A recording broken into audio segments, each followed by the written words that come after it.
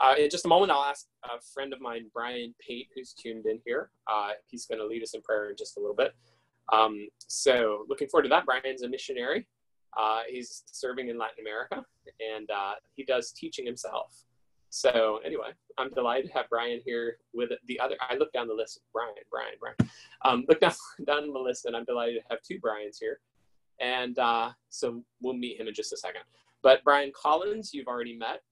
Um, and uh, Brian Collins has taught for us several times. He'll be back with us a week from today.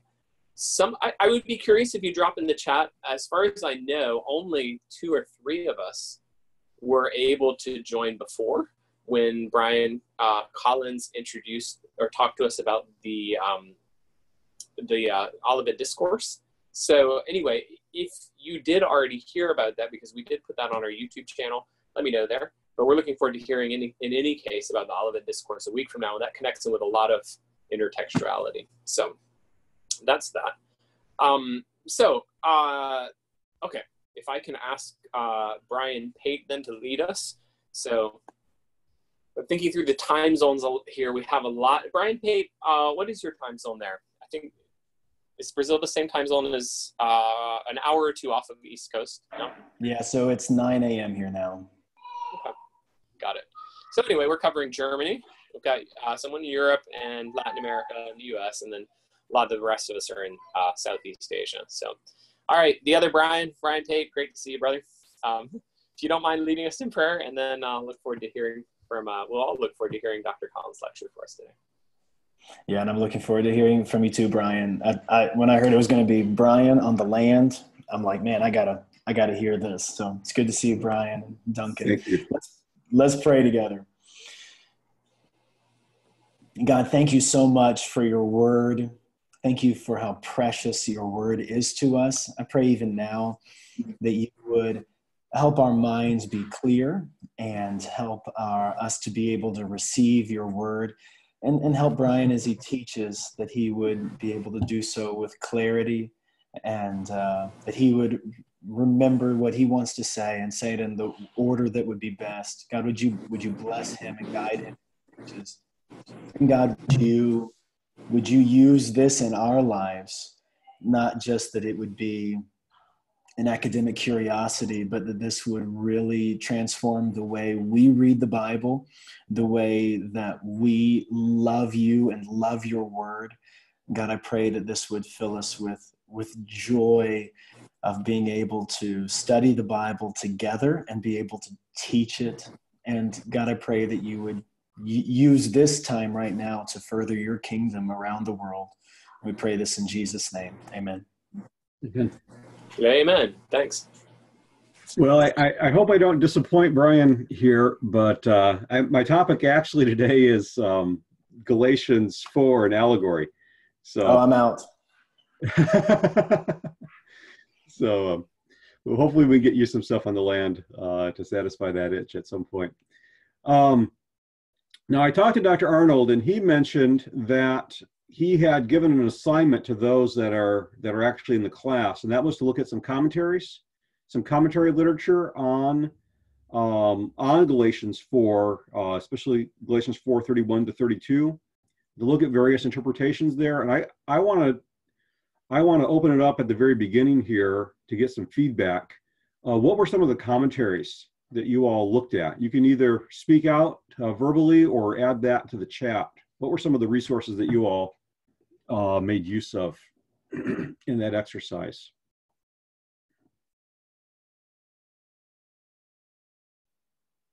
Uh, so Schreiner and Luther, uh, I see uh, Brother Duncan used. Uh, NAC and NICOT. NAC is uh, Timothy George, and NICOT is, I think, oh, well, NICOT, there's two. There's Fung, and then I think Scot McKnight updated that as maybe the new one. Um, Fung, okay. BECNT, which would be uh, Douglas Moo. Very good. EBC, NAC, and Beale and Carson. I forget who did EBC. Um,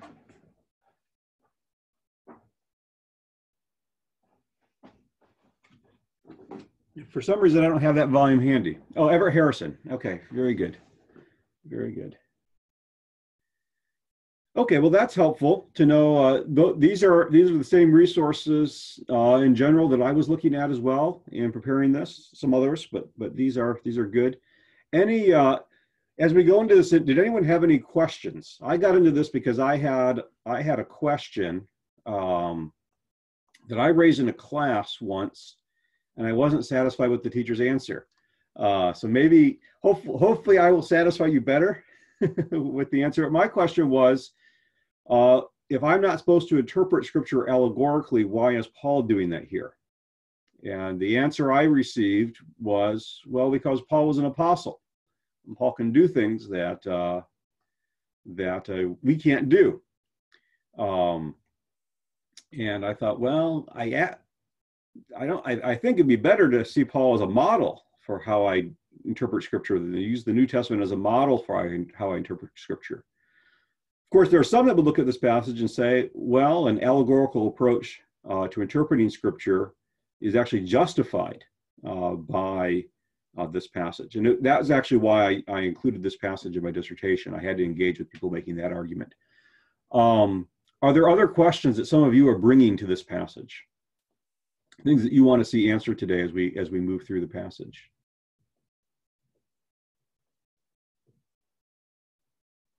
I can see Dr. Arnold's mouth moving, but I don't hear any sound.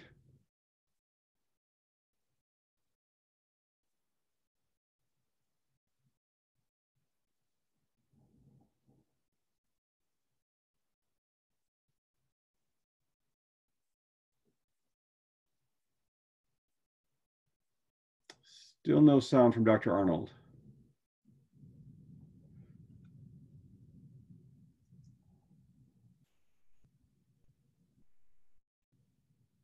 Okay, I see. Uh, Dr. Arnold said, what about the idea that Paul is using this allegory uh, to return their attack back on them? So it's kind of a polemical use of allegory. Yeah, I've, I've heard that. Uh, I, I think as we go through this, we'll find that there's actually a better, a better approach uh, here that we don't need to, uh, um, we don't necessarily need to see this as just a polemic use.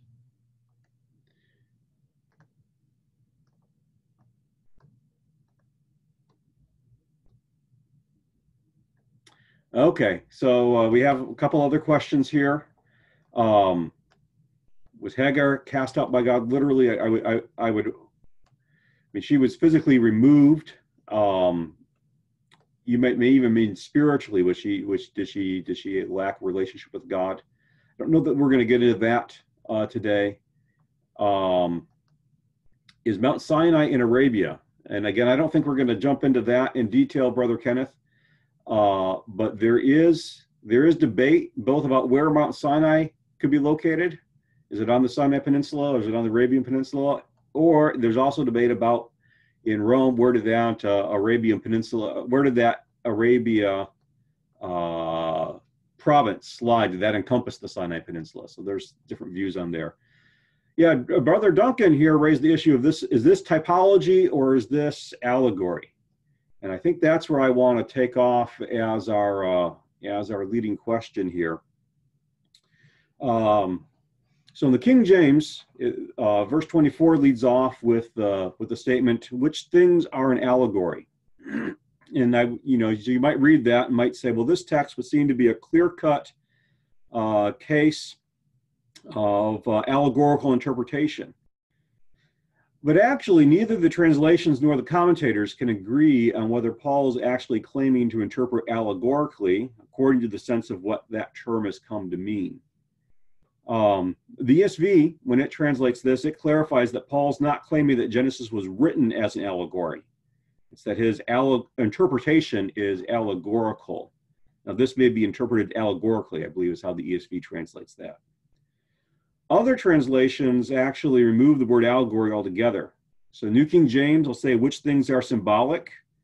Uh, the Holman Christian Standard Bible, and, and, I don't think the CSB changed this when it was updated, uh, says these things are illustrations. Um, the NIV says uh, these things are ta being taken figuratively. And the ambiguity of this term that's being reflected in the translation is, was actually recognized in the ancient times. This was not a technical term uh, when Paul wrote. Um, In fact, Origen and Augustine, they don't actually make a distinction between figures of speech and allegorical interpretations. So this is a fairly broad term uh, that, that Paul is, is using here. Now, some interpreters throughout history have said that Paul is indeed interpreting, uh, employing allegorical interpretation here. Uh, that would be Thomas Aquinas' view. That would be uh, John Eadie's view for a 19th century commentator. Uh, that would be Richard Longenecker's view in the Word Biblical Commentary. Uh, so that's a, that's a view that spans the ages there, that this is an allegorical interpretation. Others would argue that he's interpreting typologically. Uh, this would be, say, uh, Chrysostom, John Chrysostom. Uh, this would be J.B. Lightfoot. Uh, this would be F.F. Bruce, uh, Timothy George in the NAC. Um, Calvin doesn't use the word typology. He uses the word anagoge, uh, but I think that probably is also his, his position. Fung wants the terminology over either allegory or typology. Uh, and then others claim that Paul combined typology and allegory. Uh, that would be Thomas Schreiner. Now, some of this debate is semantic. Um, you know, what what is an allegorical interpretation versus what is a what is a typological interpretation? And I'm not super concerned about the lexical meaning of the terms typology or, or allegory. Typically, um, typically typology is rooted more in history Typology is rooted more in the, the repetition of events of history and so forth. Uh, whereas allegory is, is a little more disconnected from the historical. But I think the point at issue really isn't the meaning of which term we put, but what is the actual hermeneutical practice of Paul this passage is, um, is actually exemplifying. And as I undertook the study, I was asking myself, is this methodology or hermeneutical practice of Paul actually distinct from the patristic and medieval uh, fourfold interpretation? Is it distinct from the patristic approach to allegorical interpretation? And as I work through this, I think we'll see that the answer to that is yes. So verse 21 uh, sets the stage. So let me grab a Bible, get a Bible in front of me here. Verse 21 sets the stage. Uh, Paul concludes his argument against whether the Galatians who wish to submit themselves to the law by asking whether they consider what the law actually says about being under the law. So here are these people, they want to, they, they're saying, at least the Judaizers among them are saying it's necessary to be circumcised in order to be justified, in order to be saved. They're going to bring themselves back under the Mosaic law. And Paul says, okay, have you thought about what the law actually says about being under the law? And then verses uh, 20, uh, verses 23, 22 and 23, they direct the readers back uh, to the Abraham narrative. But the son of the slave was born, or for it is written, Abraham had two sons, one by the slave woman, one by a free woman. The son of the slave woman was born according to the flesh, while the son of the free woman uh, was born through promise. In its original setting, Genesis, uh, in Genesis, this narrative is actually about the promises of God and the response of Abraham uh, to these promises with growing faith. Um, one of the things that helped me actually understand this passage, I had that question that I asked in um, that I asked my my professor, uh, how I got that question answered was actually through a, a study of Genesis. I was studying through Genesis, uh, in this case 16, and I thought, you know, this this passage in its context uh, really is all about God's promises and about responding to these promises by faith. And we find New Testament confirmation that that, that faith is a major emphasis of the Abraham narrative. In both Galatians 3 and Romans 4, Paul appears, appeals to Abraham to undergird his argument that justification is by faith alone. In Hebrews 11, the portion discussing Abraham's faith runs from verses verse 8 to verse 19, giving Abraham the longest section in this chapter on faith. Uh, and specifically, Hebrews 11 is on faith as it relates to works. Uh, the, there are only two other extended discussions of Abraham in the New Testament. One is found in John 8 concerning the Pharisees' claim to be Abraham's children, and the other is in Hebrews 7, which deals with Melchizedek. So I think when we look at Genesis in the original context, the Abraham narratives in their original context, and when we look at uh, how the New Testament um, talks about these, these passages, uh, we see that faith is a major theme of in the original context that Paul is drawing on. Now, in Galatians 4, Paul specifically highlights Abraham's two sons. And he highlights Abraham's two sons to exemplify two ways in which Abraham sought to receive the promises. Galatia, uh, Genesis 16 records the birth of Abraham's first son. Now, in, the, in 15, in the previous chapter, Abram reminded the Lord of both the seed promise and of his lack of children. That's Genesis 15, uh, 2 and 3. God in verses 4 and 5 then reaffirms the seed promise. And then he further he makes a further specification. The seed promise is actually going to be fulfilled by Abram himself having a son. This is not going to be through adoption of your servant and his heirs. You are going to actually have a son, Abram, God says. In verse 6, Abram uh, believes God, and God counts him to righteousness. Come to chapter 16 of Genesis, and it opens Now Sarai, Abram's wife, had borne him no children. So if Abram's going to have children, it's his wife who's going to bear them. And yet Yahweh, the giver of the promise, actually had prevented Sarah from having children. And Calvin actually suggests that by this stage, Sarah had reached the point where she knew she was physically incapable of bearing children. And so here they are, God's promised Abram, you're going to have children. They're going to be your own children. He has a wife, and they realize she can't have children. It's, it's physically incapable for her to have children. Now, verse 1 provides a possible way out of this dilemma.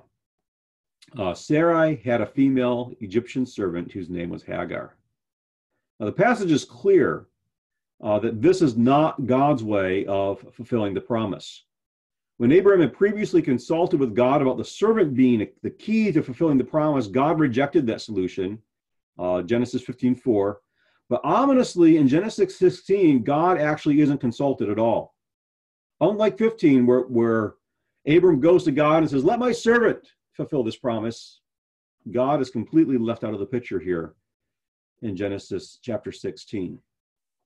Moses also uses language in Genesis 16 that draws the reader's mind back to Genesis 3. So here's Genesis 16 2. And Abraham listened to the voice of Sarai. Listen to uh, Gen- uh, Genesis 3:17. Adam listened to the voice of his wife. The phrase that this phrase that this uh, verse "listen to" is that it could also be translated "obey." That occurs only here and in Genesis 3:17. Uh, I think that's suggestive enough as far as Moses drawing a parallel. But more than that, in both instances, it's a question of obeying one's wife, which is, uh, you know, it is always good for men to take um, the counsel of their wives, uh, when it's, especially when it's wise biblical counsel. I, I, I often talk with my wife about in fact, real, if it's a major decision, we always talk about it. But here we actually do see a reversal of the leadership that Adam is supposed to be leading, taking in the home, or Abraham is supposed to be taking in the home. In this case, the counsel is wrong counsel, and the husband is actually obeying uh, the wife in giving that uh, that wrong counsel. Also, here's uh, here's Genesis 3 6. Eve took and gave to her husband. In Genesis 16:3, Sarah took and gave to her husband. Uh, between these two verses, there's actually between Genesis uh, 16:2 and uh, uh, Genesis 16:2 and 3 and Genesis 3 uh, 6. There's actually an identical sequence of key nouns and verbs. And it's actually not even just the terminology that's similar, but the actions that are involved in similar. So I think Moses writes into the beginning of Genesis 16 here an echo of the fall narrative in uh, Genesis chapter 3. In both cases, God's word was not believed, and humans took matters into their own hands. Now, I'll qualify that a little bit in terms of Genesis 16. In the case of Hagar, Genesis 16, God's word wasn't entirely disbelieved. Because if God's word was entirely disbelieved, Abram and Sarah wouldn't even be trying to, to fulfill God's promise. Um, but instead, what they're doing is they're trying to fulfill God's promise through their own efforts. So Calvin says the faith of both of them was defective, not indeed with regard to the substance of the promise. They actually believed that there would be a son that would come from this, that would fill the promise, but with regard to the method by which they proceeded, since they hastened to acquire the offspring which was to be expected from God without observing the legitimate ordinance of God. And I think that's exactly the issue in Galatians, right? Galatians is not about people disbelieving God entirely. It's, it's not about unbelievers. It's about people that, ha- that are combining faith uh, with their own efforts. They're trying to achieve the promises of God that they do believe in, but they're also using their own efforts. In, in the Galatians case, circumcision, food laws, and so forth, uh, in order to um, in order to achieve the promise of God. And so in Galatians 4:23, um, Paul says the son of the slave woman was born according to the flesh, which I don't think refers to the sinful manner in which um, in which Ishmael was conceived. It means that Ishmael was born of human contriving. Um, it probably means more than simply he was born according to the natural process of, of procreation, although that meaning would be included. Uh, it, I think it means that this was a human effort. This was human effort on the part of um, on the part of, of Abram and Sarai to bring about uh, the promises of God. Now, let's contrast this with the birth of, of Isaac. So Genesis 21 records the birth of Abraham's second son. In this passage, Moses specifically said that Isaac was born, quote, as he had promised, that is, as God had promised. And he reinforces the fulfillment, um, he reinforces the fulfillment of the promise by noting that the birth took place, quote, as he had said. That's again 21 1. And further, 21 2, at the time of which God had spoken to him.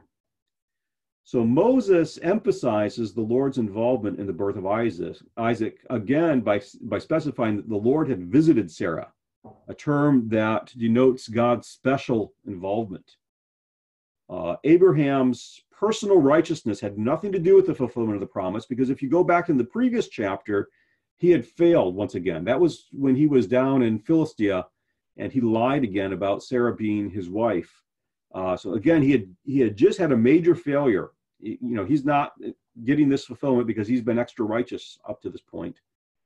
And then his old age is noted in 21, 1, 5, and 7, which is again another indication that God fulfilled this promise. So it's on the basis of this passage uh, that Paul says in Galatians 4:23, the son of the free woman was born uh, through the promise. So I think the circumstances of the birth of Abraham's two sons parallel the options before the Galatians.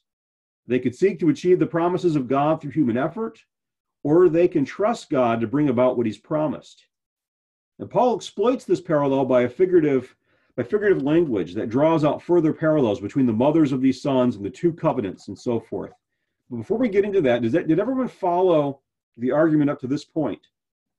how looking back at Genesis 16 in its original context and its original meaning, and Genesis 21 in its original context and original meaning, actually informs what Paul is doing in um, in Galatians uh, 23, 423, when he talks about the son of the slave woman born according to the flesh, the son of the free woman born according to the promise.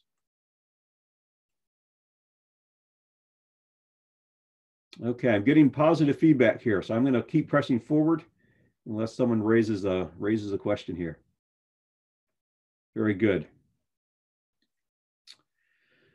Um, okay, so I, have mentioned that that these two represent two covenants, and I'm uh, that's uh, actually what Paul says in verse 24. Now, these, these may be interpreted allegorically, or these may be interpreted figuratively, or this, these may be used as an illustration. All of these are, are possible translations of that term. And then what, what is this, what is this um, kind of figurative interpretation that, that Paul is using, or this, these figures of speech that Paul is going to make use of here, these illustrative uh, examples? Well, this is, this is it. These women are two covenants.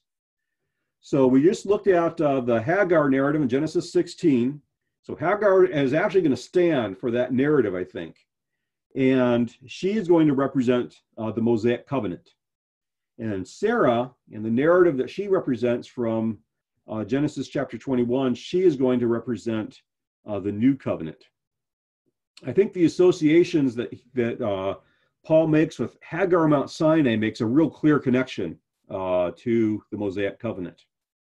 Then Paul also says that she is connected with the present Jerusalem, which I think probably refers to that whole legal system of Judaism. Uh, that was all located in uh, Jerusalem. That's where the temple was. That's where kind of the center of, of Judaism uh, was.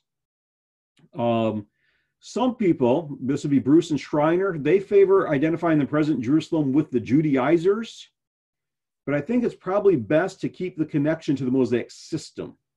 And I think that keeps a tighter connection between the symbols that Paul is piling up.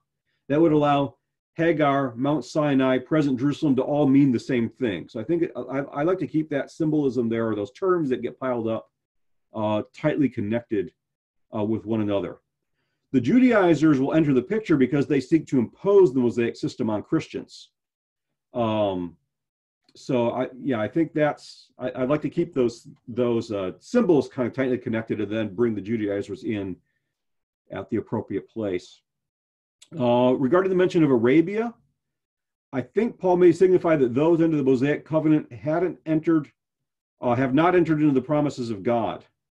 Uh, you know, they're they're still maybe out in the wilderness. They haven't entered into the promised land. That's a, that's a possible um, interpretation. Ridderbos, uh, however, prefers to understand this verse as saying, although Sinai is in Arabia, Hagar is nevertheless to be um, identify with the present Jerusalem?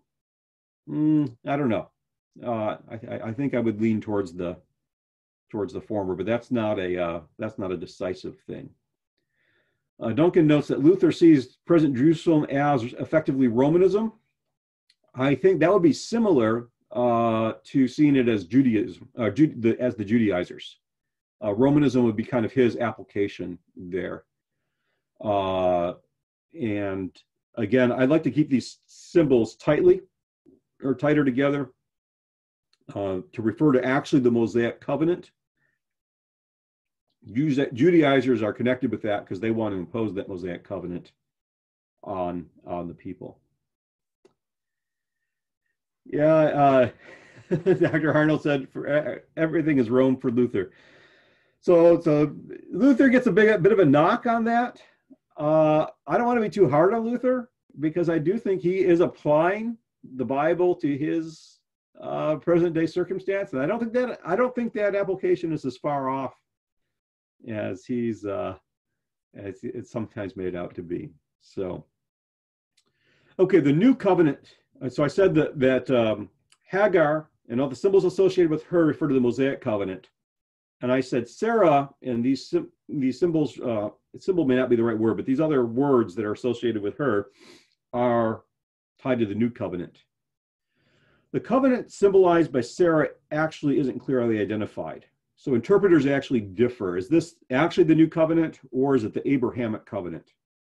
Uh, Schreiner favors identifying it with the new covenant, but he says it's not really of major importance since the new covenant is the one that fulfills the Abrahamic covenant. And I actually think that observation favors the new covenant identification. Um, if, if the new covenant is the one that fulfills the Abrahamic covenant, uh, it's probably the covenant that's ultimately in fulfillment that's that's in view. Furthermore, the Galatian churches are Gentile churches, and they become the seed of Abraham and beneficiaries of aspects of, of the Abrahamic covenant because of their union to the seed of Abraham. That's the whole point of Galatians 3 27 to 29. And that union to the seed, to Christ, happens only through the new covenant sacrifice of Christ. Uh, so I, I, think new covenant is probably the best identification there. Sarah is also identified with the heavenly Jerusalem. Uh, Aquinas uh, said that was the church triumphant. Calvin said it was the church militant. I don't think it's either of those. I think it's probably the future Jerusalem. This is the Jerusalem from which Christ establishes his righteous reign over all the earth.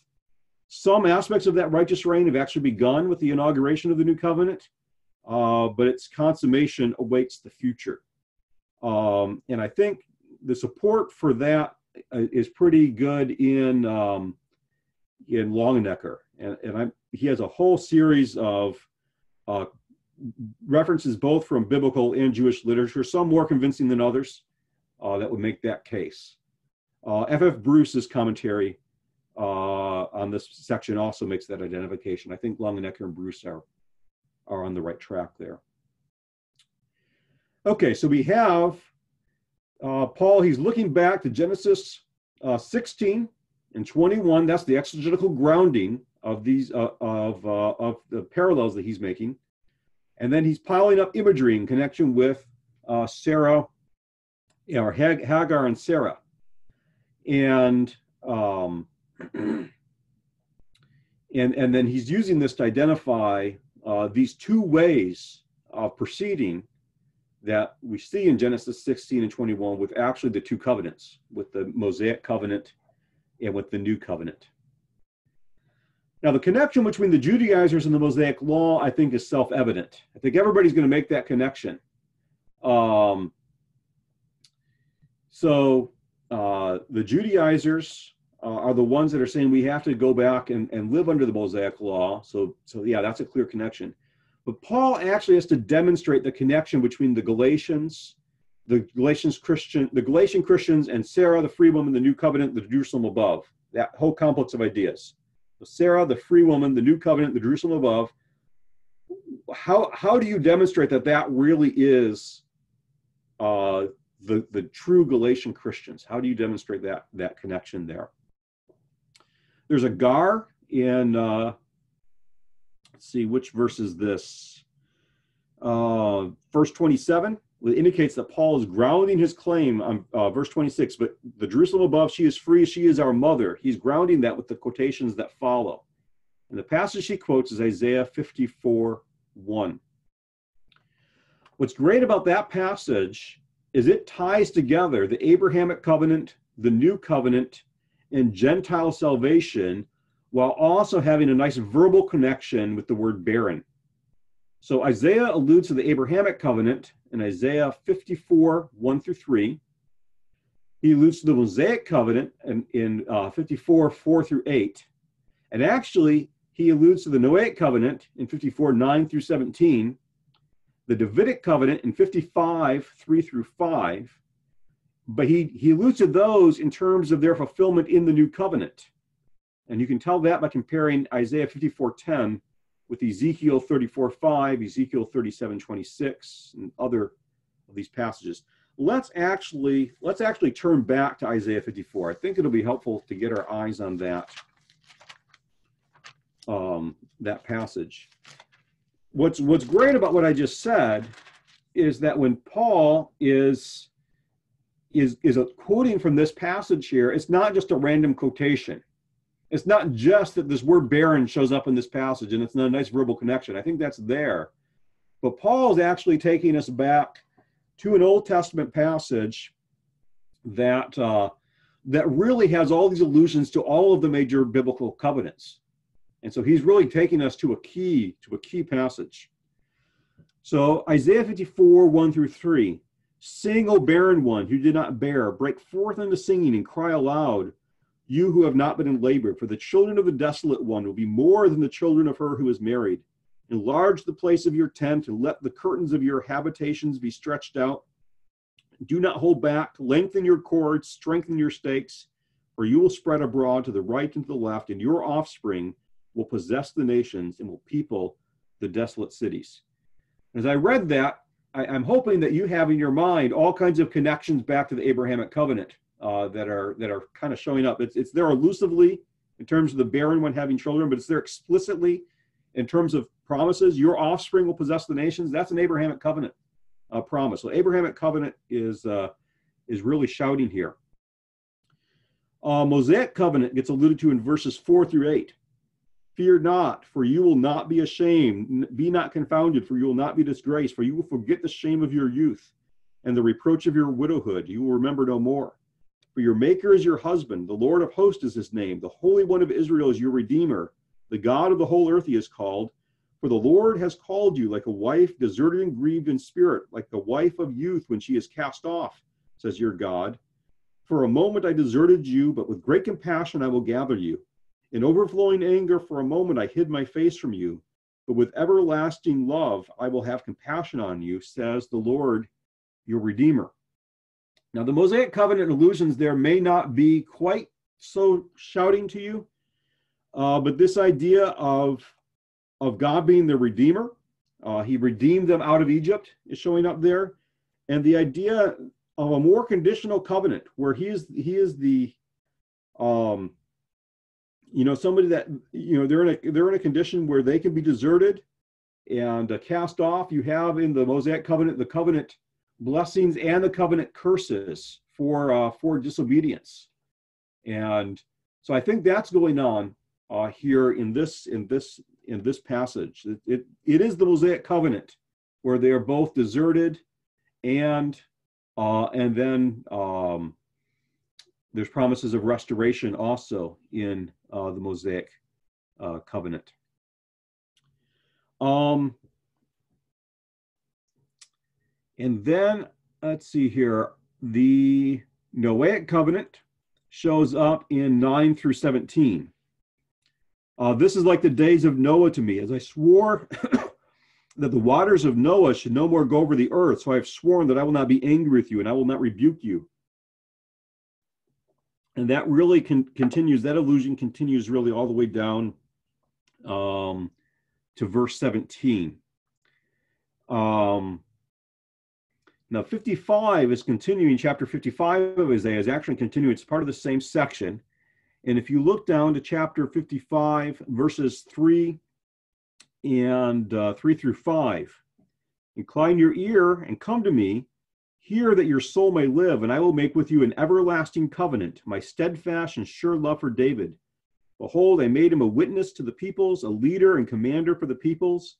Behold, you shall call a nation that you do not know, a nation that did not know you shall run to you because of the Lord your God and the Holy One of Israel, for he has glorified you. So that is Davidic covenant, but it's using a new covenant formula there. Uh, the everlasting covenant is a term that is used really throughout the prophets um, of the uh, of the uh, of the Abrahamic or sorry of the new covenant. So I think you can see in this passage here, uh, Isaiah is bringing together all of these all of these covenants. Now let's focus on what Paul's doing here with this. Verse 1 connects to the Abrahamic covenant by speaking of Zion in terms, this is Isaiah uh, 54 1. Connects with the Abrahamic covenant by speaking of Zion in terms of a barren woman having offspring. Um, Isaiah 54 1 and Genesis 11 30 are uh, parallel in Hebrew, and especially in the Septuagint, which was which is what Paul was quoting. So I think there's actually an explicit connection there. Um, so it, it's Zion is a barren woman having offspring. Sarah was a barren woman having offspring. These connections continue with the reference to spreading abroad to the right hand to the left hand in 54.3, which actually calls to mind Genesis uh, 28.14, uh, let me turn to that real quick so we get that in front of us.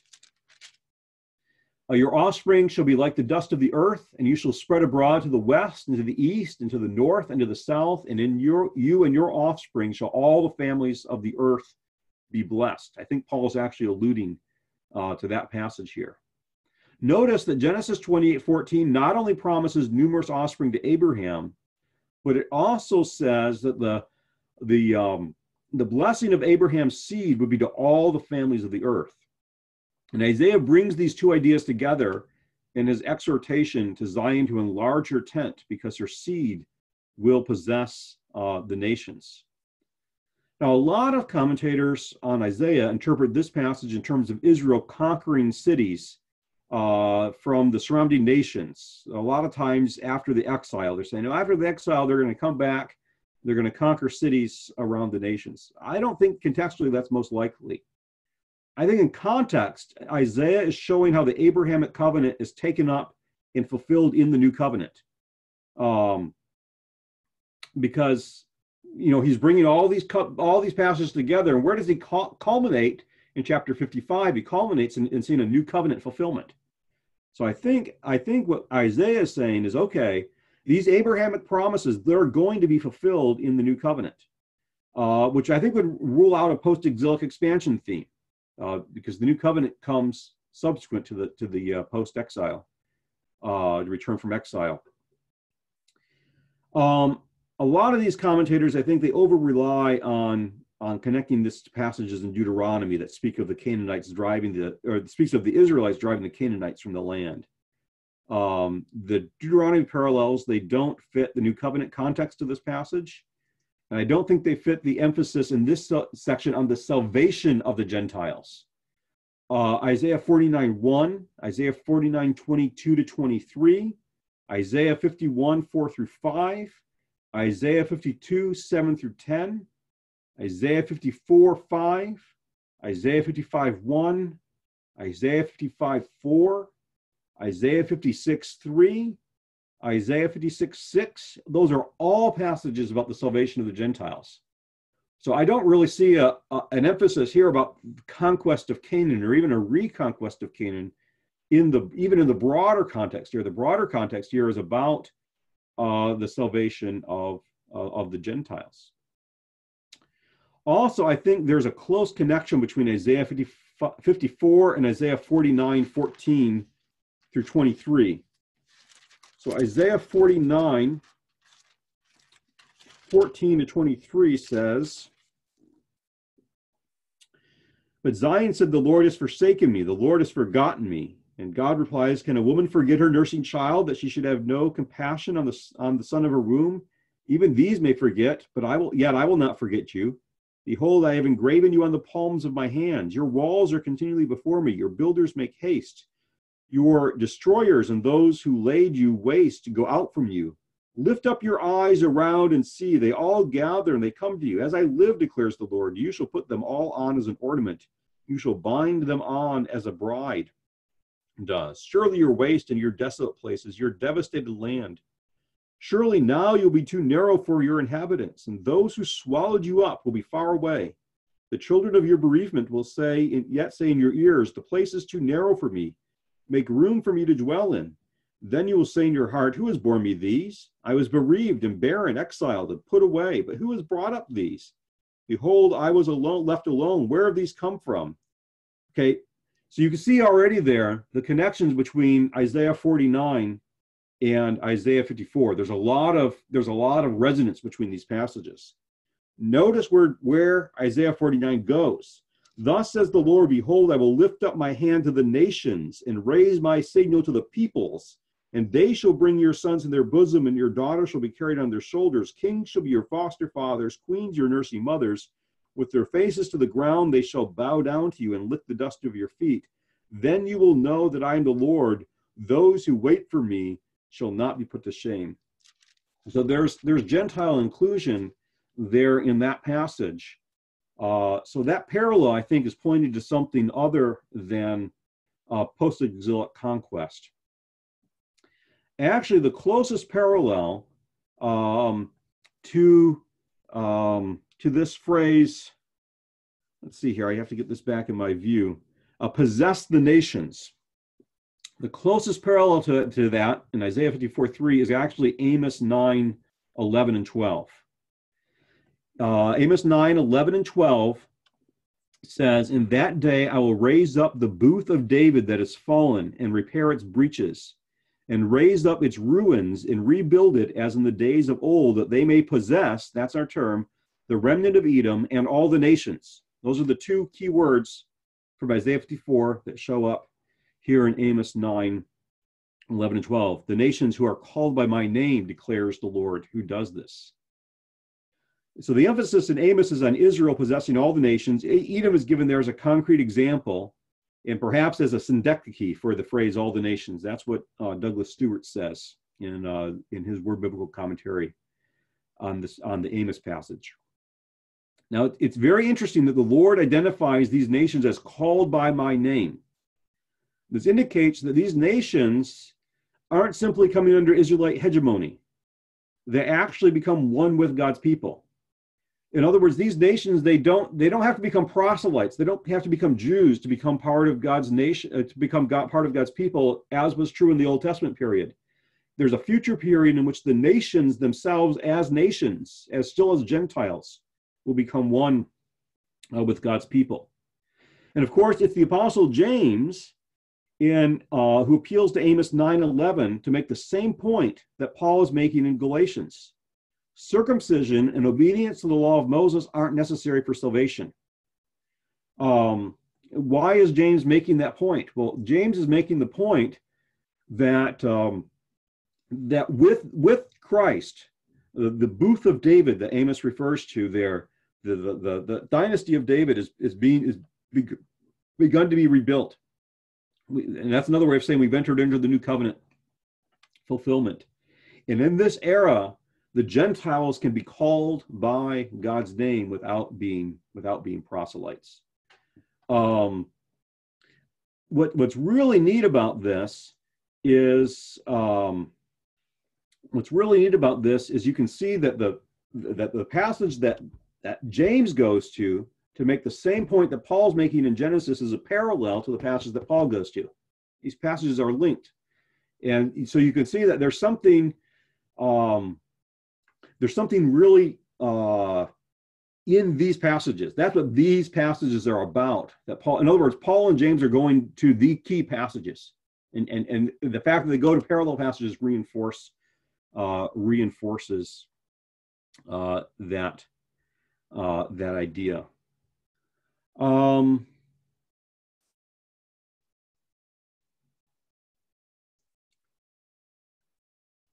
so back to Isaiah uh, 54. See if I can get this back. Okay, so so Isaiah brings these ideas together, the ideas of the numerous offspring and the blessing of Abraham's seed being to all the families of the earth. He brings those together with his exhortation in 54, 2 and 3 for Zion to enlarge her tent because her seed will possess the nations. By the way, this was William Carey's verse uh, for missions, and I think he interpreted the verse right. This is about bringing all the Gentiles into, uh, into the people of God.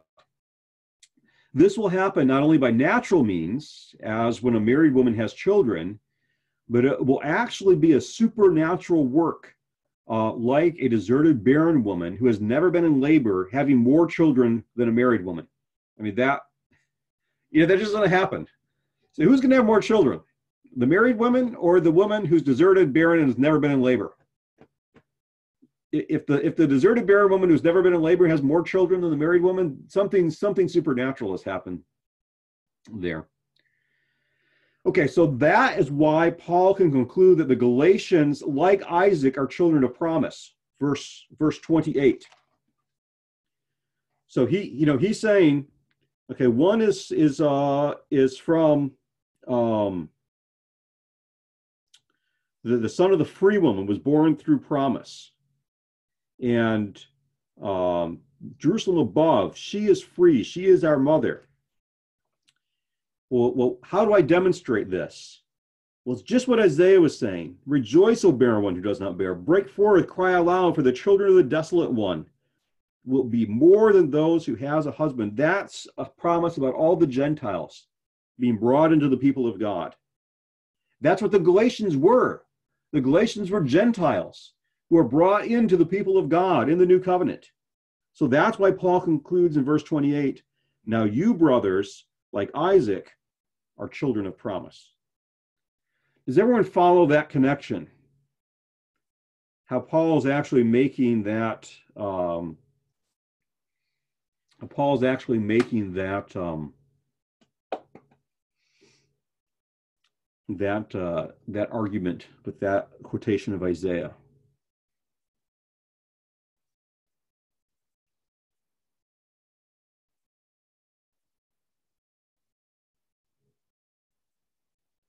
I mean, so this is where it does start to feel like um, he almost is using, he is almost turning the argument against them in a way because in this ironic way, if you're doing a, a straight out Judaistic interpretation or understanding of salvation or whatever, it's almost like salvation by genetics, right? You know, I'm a descendant of Abraham, I'm okay. And it's like he's flipping it on them in this way to say, um, the barren woman, Sarah, uh, she's you know isaac is the genetic progeny of abraham. And so you can pride yourself on being a descendant of isaac and through that line not the hagar side.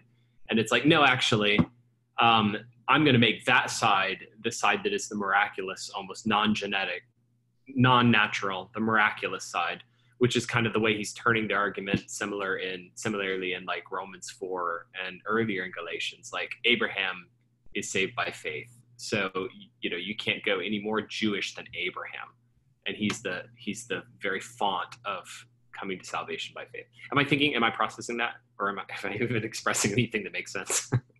yeah, no, no, that uh, I, I I can see that. Um, my my my one hesitation is that the Judaizers weren't saying Gentiles couldn't be believers, couldn't be saved. Uh-huh. Uh, it, because Jews always recognized Gentiles could be brought into brought to salvation in the Old Testament through through entering the covenant people of God, uh, through proselytizing. And what what the problem is is they're they're saying that's that's still necessary, uh, and not only is it still necessary, but but they also have some idea that that these um, ceremonies and so forth have some kind of saving um, function. Uh, so even in the Old Testament, circumcision is not what's meriting you any kind of salvation, but mm. as a matter of obedience. I think that's where the Romans 14 weak brothers are, um, in distinction from the Judaizers. But Well, Dr. Arnold, is this a good time for a break? Yeah, that's great. It's right on. We're at 8.54, so we can just come back at 9 o'clock or on the hour, okay. wherever your time zone is. So. Yeah, sounds good. All right, thanks. See you all in a bit.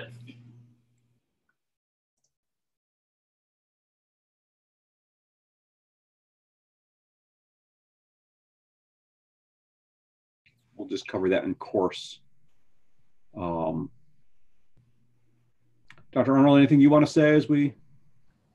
No, this is great. We'll keep on keep on rolling. Okay, great. So I think what Paul's done up to this point, up to verse 28, chapter 4, he's established the identity of the Galatian Christians. Um, and now he's going to identi- identify the identity of the Judaizers. They are like Ishmael, for they persecuted those born according to the Spirit. Uh, verse 29 But just as at that time he who was born according to the flesh persecuted him who was born according to the Spirit, so also it is now. Um, I think also the fact that born through the promise and born according to the Spirit are parallel phrases also indicates that the covenant of promise in view is, is the new covenant. Um, just, just as, as an aside there. Now, this connection is made on the basis of Ishmael's treatment of Isaac in Genesis 2, 21 9. And it's interesting, some commentators actually resist the idea that Ishmael actually persecuted Isaac in Genesis 21 9. F. F. Bruce says that laughter is a repeated theme in Genesis 21, and that Ishmael's laughter need not be mocking. And secondly, Bruce says even if Ishmael's laughter is mockery, that's hardly tantamount to persecution. And Longenecker argues that the Bible nowhere presents Ishmael persecuting Isaac and that Paul was dependent on Jewish tradition for this. I, I, really don't like those arguments. I really don't like it when somebody says, well, this New Testament author who's interpreted the Old Testament really doesn't get the Old Testament interpretation right. That just, how, how, how do you conclude that? I, I don't know. Um, when you look at the passage, I think the fact that laughter is a key word in Genesis 21 does not mean the chapter must that is used in the chapter must be uniformly positive. So yes, this is a repeated word in Genesis 21, but that doesn't mean that the word always is used uniformly positive. Uh, both the fact that here it occurs in the Piel, which uh, Wenham says gives the word nasty overtones, and the fact that the nature of Sarah's response indicates that Ishmael's laughter was mocking rather than friendly, um, would indicate that this is this is used differently from the more positive laughter uh, that shows up elsewhere in the passage. And in response to, to Bruce's second point, F.F. Bruce's second point, that even if the laughter is understood as mockery, it's hardly tantamount to persecution. I actually think that Calvin here is more insightful. This is what Calvin says in his Genesis commentary on this passage. He says, And there is no doubt that his manifest impiety against God betrayed itself under this ridicule. He had reached an age at which he could not by any means be ignorant of the promised favor, on account of which his father Abraham was transported with so great joy. And yet, profoundly confident in himself, he insults in the person of his brother both God and his word, as well as the faith of Abraham. Furthermore, in Matthew 5:11, Jesus himself is willing to call verbal abuse persecution.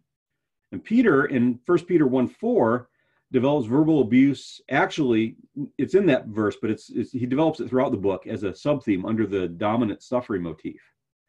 So I think Paul is indeed referring to Genesis 21.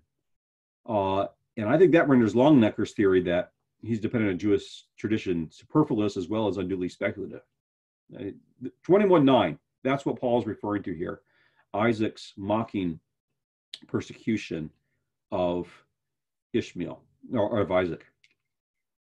Ishmael's mocking persecution of Isaac. Okay, so Paul then applies the judgment that falls on those aligned with Ishmael, that is, those under the Mosaic Code. They won't receive the promised inheritance. And Paul gives this warning based on the words of Sarah Cast out the slave woman and her son, for the son of the slave woman shall not inherit with the son of the free woman. Genesis, Galatians 4:30. Now, this has traditionally been read to say that the Galatians should exclude unconverted Jews from their midst. The church father Ambrose uh, took that position. Thomas Aquinas took that position. Uh, DeWitt Burton in the ICC commentary, that was his position. More recently, it has been read to say that they should um, that they should exclude the Judaizers. And that's what Longenecker and George read. Now, there are numerous passages that, that do teach that false teachers should be expelled from the church, even in Galatians, Galatians 1 and 8, 9, 2 Corinthians 6, 14 through 7, 1, 2 John 10 through 11. But in the flow of Paul's argument, I think this quotation seems to be warning, seems to be a warning that fits with Paul's opening admonition Tell me, you who desire to be under the law, do you not listen to the law? What he's saying here is submission to the law results in being cast out from the family of promise. I think that's Paul's point here. Submission to the law, especially in this Judaizing way, results in being cast out of the family of promise. If you're going to put yourself back under the Mosaic code for salvation, you will not receive uh, the promised inheritance.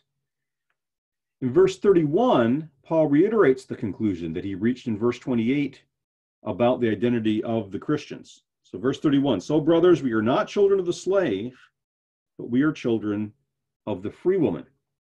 And then let's move right on into 5 1. There were no chapter breaks in the original. For freedom, Christ has set us free. Stand firm, therefore, and do not submit again uh, to a yoke of slavery. So 5.1, he concludes his exhortation and he prepares the way for the following section by exhorting the Galatians to stand firm in their freedom and not to submit to the slavery of the Mosaic Code. Now, throughout this passage, I think what Paul is doing, so let's let actually let's stop there and ask questions. Does anyone have questions? Because we're at the end of the exegesis section of the of of, of this. Any questions about uh, about any of the exegesis of this.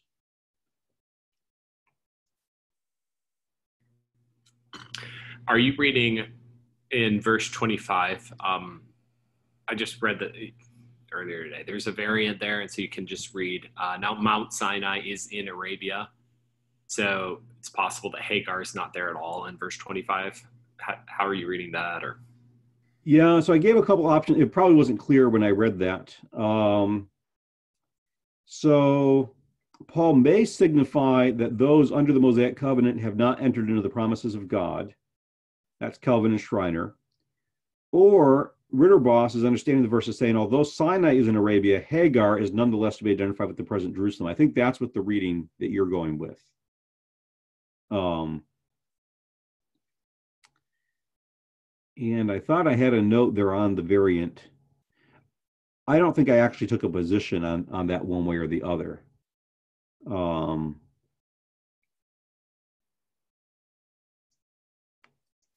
I don't actually see a note in my note where I took a position on the variant. I think I just gave those two options. Is that satisfying? Yeah. It's so Brian asks, is the casting an act of God and not of the church?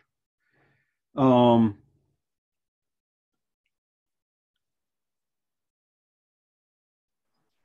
and just to clarify, it sounds like you're saying it is God excluding them from the family of God rather than and he's not calling on the church to exclude specific people. Uh, just I was wondering about the specific force of this this verse. Yes, yeah. So that was um, yeah. There are passages that say you know false teachers need to be cast out for the church, but I don't think that's what this passage is saying. And I think in the flow of Paul's argument, this is a this is a warning about um, yes, they won't be part of the family of promise, and that's a divine. Yeah, that's that is how I would read that. Could you explain um, the the different views on the New Jerusalem? So, uh, like, uh, there's the church militant, church triumphant, and then the, your New Covenant view. Uh, I was not a, I was not familiar with the old interpretations there at all. Yes, let me uh, see if I can find that spot in my notes. Um,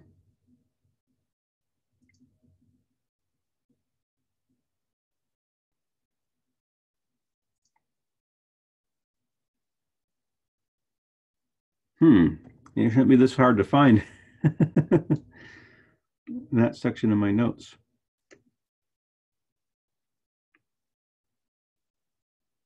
Okay, here we go. So this is in chapter uh, ver, uh, uh, verse 26, the Jerusalem that is above. Um, so the heavenly Jerusalem Aquinas is saying it's the church triumphant. And, and you could see why he would make that connection because the church that is above uh, would seem to be uh, the church that is, you know, already ascended up into heaven. They're the church triumphant. Um, Calvin identifies it with the church militant. And I'd have to actually go back, and I could do that right now if you wanted me to. I could uh, pull that up uh, and see what he used after there. But he may be saying, you know, we're in uh, you know, we're already seated above in heavenly places, Ephesians. I'm just speculating here what he might be saying.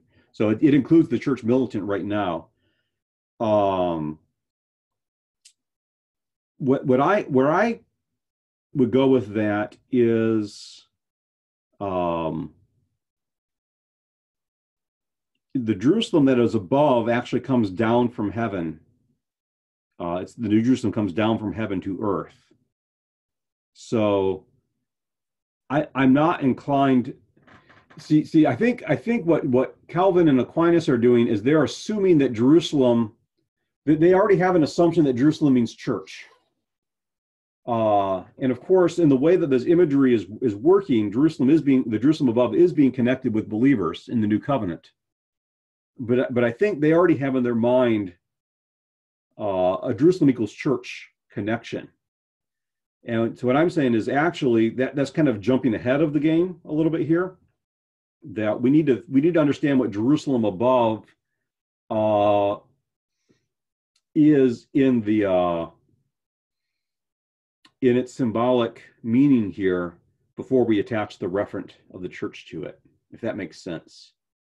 And well, what is the Jerusalem above? Well, the new Jerusalem it comes down from heaven to earth. That would be the Jerusalem above. In some aspects of of Christ's righteous reign from Jerusalem have already begun with the new covenant. So that's that's my thinking. That's my thinking there. So we're doing something like a, um, yeah. I mean, it's like an eschatological focus, but there's it's through an already not yet grid, almost a Colossians three sort of concept. Like you're seated with Christ, but you're putting it through the lens of already not yet.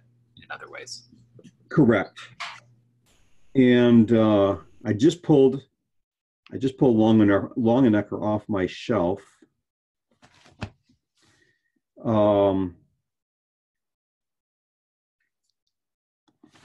it's been a little while since I actually looked at at because uh, I, I, I, developed this is actually developed out of my dissertation, so it's been a number of years since I've actually gone back and checked some of these footnotes. Longenecker says reference to a heavenly Jerusalem are to be found in embryonic form in the Jewish scriptures. Psalm 87.3, Isaiah 54, uh, which is interesting because Paul quotes from that, Ezekiel 40, 48, and he says in Jewish wisdom literature uh, and in apocalyptic writings of the Second Temple. Now, I noted in my footnote, some of these references are more convincing than others.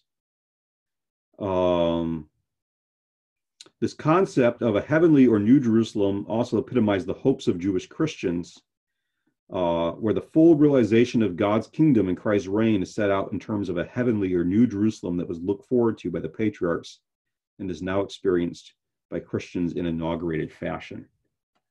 So I was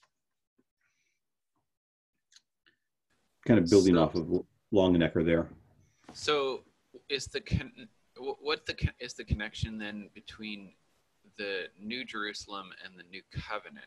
Um, Kenneth in the chat is talking about the land promise. Um, is that the connection, or is there something else? Um, let me pull up the chat so I can keep keep up with that. Um, and then re, can you now that I've looked at that comment, can you restate your question again? I'm just wondering what the connection is between New Jerusalem and uh, New Covenant. Yeah, those new covenant promises uh, ultimately would find their fulfillment um, in the New Jerusalem. I mean, that's that's a, a, key component of, of the fulfillment of those promises. Um, so I would see kind of an already not yet there uh, going on with with its being brought up here as well. Um, there's the present Jerusalem. That's where all the sacrifices and in things tied to the old covenant would be uh, verse 25 and then the jerusalem from above that's the one we're expecting to come down out of heaven to consummate all of these new covenant promises or at least in part would consummate the new covenant promises. Um, so that would be identified with the new covenant people of god. Does that make sense? Any, any further questions on that?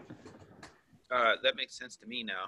And uh, I, I, was just taken back when I was reading Luther, um, and he talks about all the medieval stuff, um, and and he sort of he attacks Aquinas basically, and then picks the church militant theme, assumes that that's the interpretation, and moves on, and basically he's allegorizing Galatians four here. Yes. And I think he's not doing it too much like i don't think he's doing damage to the text but it's it's very different from the modern commentaries when you're reading it. Yeah, Luther. I don't know if this is what's going on here, but Luther makes makes pretty tight connections between the Juda- Judaizers and the Roman Catholics of his day, and I don't. He gets he kind of gets uh, criticized for that in a lot of the modern literature. But I, I, tend to think that that modern literature, the biblical scholars aren't necessarily up on their historical theology, maybe. Uh, because it wasn't that Rome denied grace or that salvation was by grace. Uh, Rome affirms that salvation is ju- in justification is by grace, but it's by grace in conjunction with the sacramental system And I think Luther is rightly recognizing, well, wait a second. If it's by grace in conjunction with the sacrificial system, how is that different from the Judaizers who are saying it's by grace plus uh, in conjunction with the Mosaic system? I mean, I think I think Luther is picking up on a real on a real parallel there. Now, rhetorically, he, he might he might not show you all the moves he's making. You know, he's going to make that connection rhetorically pretty tight. Um, so, but uh, Kenneth Chung asked, is, is Luther correct about the church militant? No, I don't think he's correct in that particular point. Um, I, I'm just defending him more broadly. Is it reasonable to do something with the, the present Jerusalem versus the Jerusalem above is free, like having a, little bit of a polemical edge to it in a way? Like, so you claim on the Judaizer side, you claim to be the authentic, authentic Judaism. The Jerusalem above, almost like a Hebrews 9 sort of notion, like the real, the, you know, the real seat of where all of this stuff is, is actually above now. Um, or we ought to think Right. of it, you know, that's the ultimate sanctuary kind of notion. Is that, Yeah, you am I thinking the right yeah, direction? yeah. It's kind of like you, you just have the present Jerusalem, but we have the New Jerusalem. Yeah. You know, yeah. So yeah, I think there's something of that there. Thanks. You- you- Excellent questions. Other other questions. We have a little more to tie things together at the end here, but but I, uh, if we have interpreta- uh, questions on the interpretation, let's get those uh, worked through. Um, I, I see a question here in the uh, from Aguinaldo Angeles. Uh, is the casting out something to do with Romans 11 1 11 15 i had not thought of that connection um, but i could see that as a valid connection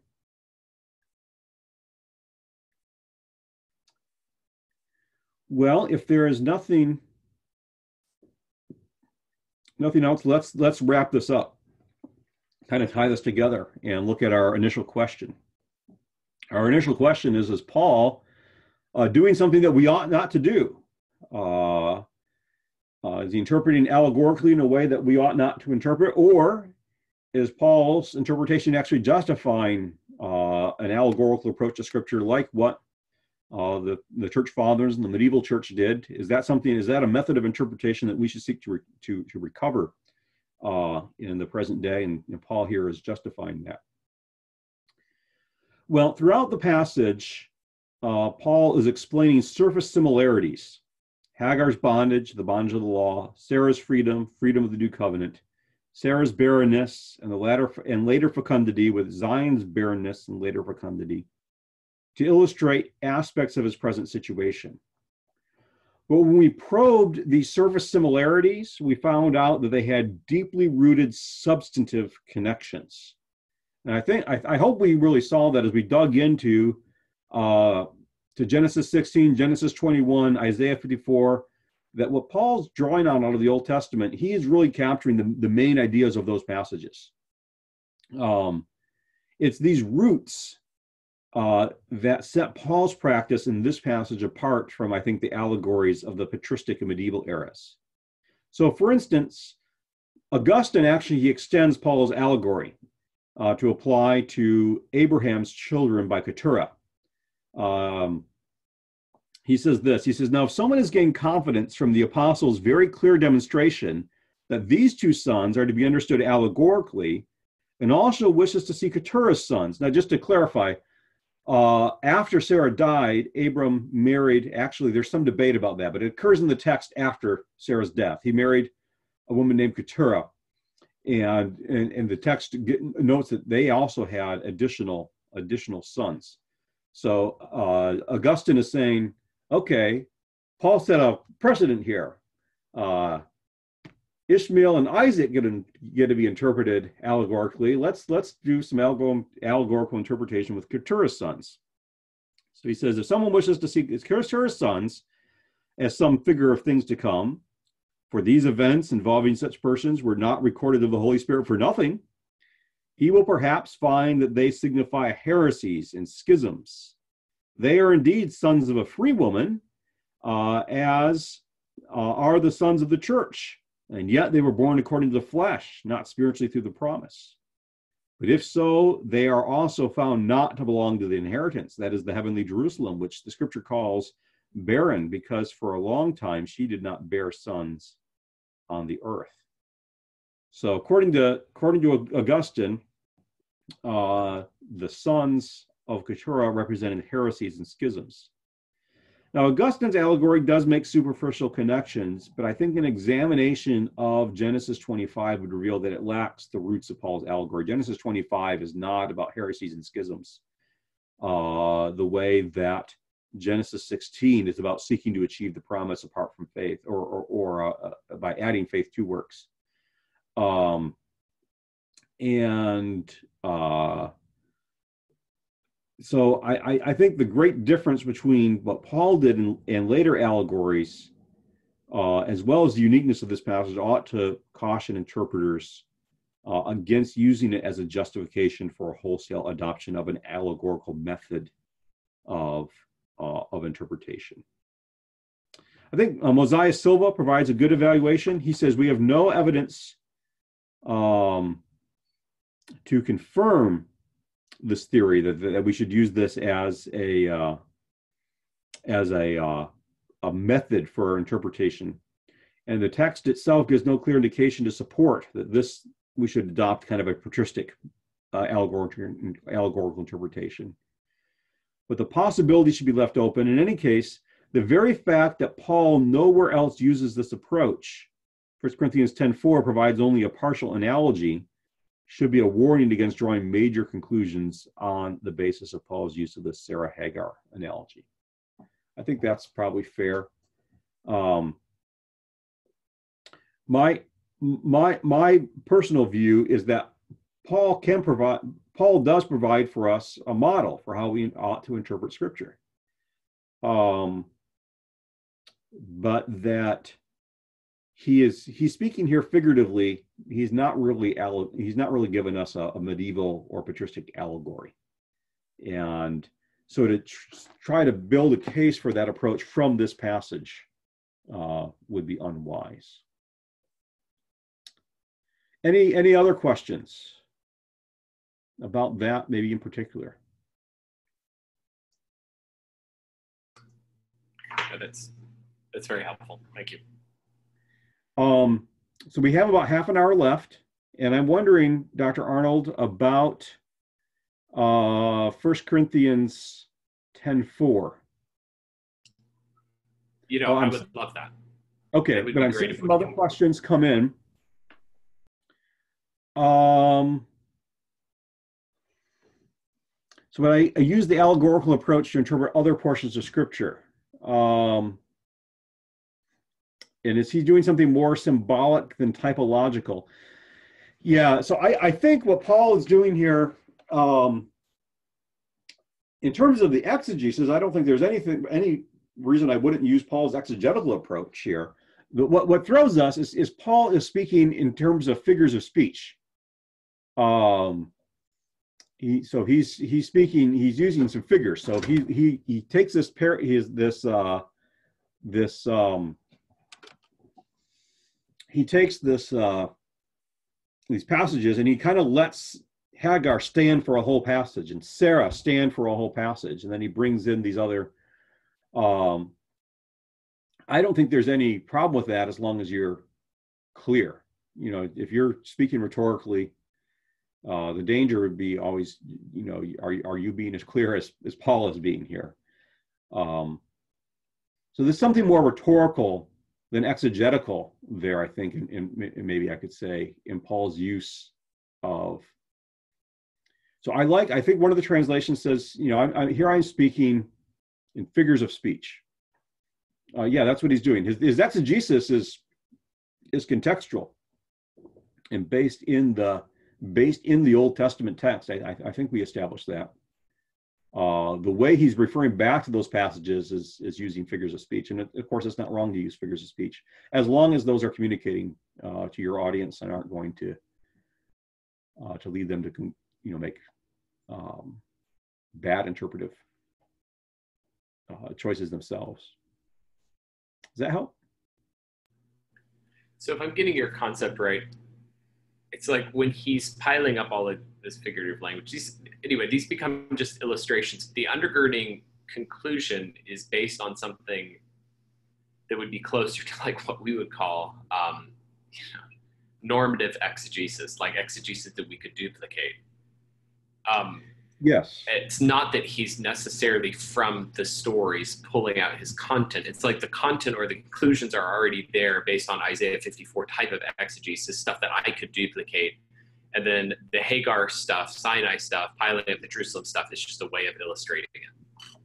Yeah. So if I if I speak in terms of the fourfold, the, the medievals they taught they had a fourfold um, approach to exegesis. So they had the literal sense, the allegorical sense, the anagogical sense, and uh, oh, what's their last sense anyway? Um, tropological. Tropological, yes, thank you. Um, now, literal for them wasn't as tightly defined as, as we have it. Um, and allegorical, they mixed together figures of speech and actually what we would call allegory. They didn't distinguish between those two. Uh, I would say that what Paul is doing here would fall under their literal sense. But because he's using figures of speech, they get confused because they're lumping figures of speech and what we call allegory together under that allegorical sense. And I think that's what, in terms of the history of interpretation and, and history of exegesis, and how these things play out, I think that's how they got confused about this about this text and, and what it would justify. It's fascinating to read Augustine on this uh, because Augustine does not make distinction when he's justifying allegorical interpretations of scripture. He'll he'll list a bunch of figures of speech and he'll say, "Now, certainly you don't expect me to interpret these literally, do you?" And and we would say, "Oh no, part of literal interpretation is to recognize the figure of speech as a figure of speech." But for him, uh, the the figure of speech itself is part of the allegory, and what we would call an allegory is yeah. So we're drawing different lines into different places there. it's interesting. That's helpful. Well, let me jump into 1 Corinthians 10. For this is another really hard one, uh, and hopefully we'll have time in the remaining uh, 30 minutes to actually um, to actually uh, do all of this. Um, so uh, 1 Corinthians 10, 4 is a passage that Origen appealed to as justifying, uh, as, as an example of allegorical interpretation in, in the Bible. And modern interpreters, some modern interpreters have supported Origen in his claim. Most notably, uh, Peter Enns. Uh, this is before he apostatized. Uh, but some of his articles in the 1996 uh, Bulletin of Biblical Research, he's, he's making this argument. Modern interpreters who favor a non-literal approach proceed by connecting Paul's statement, for they drank from the spiritual rock. Let's actually get this, this text in mind. Uh, 1 Corinthians 10, Paul says, I want you to know, brothers, that our fathers were all under the cloud and all passed through the sea and were all baptized into Moses in the cloud and in the sea, and they all ate the same spiritual food, and they all drank the same spiritual drink, where they drank from the spiritual rock that followed them, and that rock was Christ. Uh, nevertheless, most of them, with most of them, God was not pleased, for they were overthrown in the wilderness. So, uh, modern interpreters who favor a non literal approach, they proceed by connecting Paul's statement, they drank from the spiritual rock that followed them, with Jewish uh, traditions that speak about uh, a movable uh, well. However, later rabbinic sources aren't a sure guide uh, to Jewish thought at the time of the New Testament, because uh, late rabbinic sources actually post-date the New Testament, and so it's actually not clear in what form this legend about the movable well existed in Paul's day. And this is something that, like uh, Earle Ellis would note, he says it's very difficult to determine the price, precise character of the fable in the first century uh, because we just don't have any real evidence that takes it all the way back to the first century. There's only one source that may be from the first century that mentions a form of the legend, and it mentions actually a well that followed them, but it actually doesn't mention a rock that followed them. That would be uh, in pseudo Philo. Um, so that that's a complication. also, the existence of such a tradition, existence of a tradition of a moving well, doesn't actually mean that Paul drew on that uh, tradition. Both uh, Godet and Hodge, who are 19th century uh, interpreters of First Corinthians, they both reject the idea out of hand because they say Paul explicitly rejects Jewish, Jewish myths in 1 Timothy uh, 1 4. And I, I think that's a, a compelling argument. Uh, Godet says, How can we imagine for a moment the most spiritual of the apostles holding and teaching, holding and teaching the church such pluralities? And Hodge says the view of the passage makes the apostle responsible for a Jewish fable and inconsistent with his uh, divine authority. Um, modern interpreters that also reject this view will be G.K. Beale in his book on inspiration and inerrancy. He deals with this passage. He has a very good treatment of this passage in his book, Inspiration and Inerrancy. Uh, I think it's more likely that Paul relied on Jewish scriptures rather than Jewish myths in writing 10.4. Because in the Pentateuch itself, God is addressed with the appellation rock. Deuteronomy 32 4, Deuteronomy 32.15, verse 18, verses 30 through 31. Um, he identifies God as the rock. So I think Paul may reasonably make a wordplay with the idea of a physical rock that supplied water to the people, and rock as a title for the God who was present with his people and who provided the spiritual food and drink uh, for them. Um, I think this move on Paul's part was actually not entirely unprecedented. I don't think Paul himself is, is just alone making this connection. I think he sees an Old Testament warrant for it, or we could say scriptural warrant for making this connection. Psalm 78 brings together the title of this title for God, rock, the provision of water, and the presence of God in a context similar to that of 1 Corinthians 10. Um, the psalm recounts the blessings of God upon Israel and Israel's subsequent rebellion. Uh, verse 14 indicates the presence theme, the presence of God theme, by reference to the pillar of cloud and fire. Uh, verses 15 and 16 speak of God as splitting rocks in the desert to provide water for the people. Uh, incidentally, I think the plural rocks undermines the theory that the rock in Exodus 17 and the rock in Numbers 20 were the same rock. That was, that's, you know, they talk about this following rock. It's the same rock and it just kind of rolled along with them in the desert because it's, you know, this, the same, it was the same rock that provides water. But, but Psalm uh, 78 actually mentions rocks plural. So I think it undermines that theory. Um, and it these verses also describe Israel's rebellion. Um, verses 17 through 31 describes Israel's rebellion. Verse 20 mentions the provision of water through the striking of a rock. And verse 32 notes that their sin was despite God's miraculous working on their behalf. Verse 35 reveals that the Israelites needed to remember that God was their rock. I know Dr. Arnold's put that up on the screen. Did, was that clear enough? Kind of step through the passage like that. Um, you know, you all may have that passage in front of you, but the point the point is that Psalm 78 is already already bringing together the idea of God God's presence, God providing water for them from the rock in the wilderness.